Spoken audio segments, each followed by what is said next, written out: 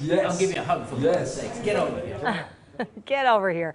After not seeing each other face to face for more than a year, a group of San Fernando Valley veterans gathered at El Camino Real Charter High School in West Hills today. And as you can imagine, they had a lot of catching up to do and reflect on what Memorial Day means to them and to the country they served. freedom that we are enjoying didn't come free. Somebody was willing to put their life on the line. They didn't die in vain. Those who laid their life on the line and made it possible for us to enjoy this freedom we're enjoying today.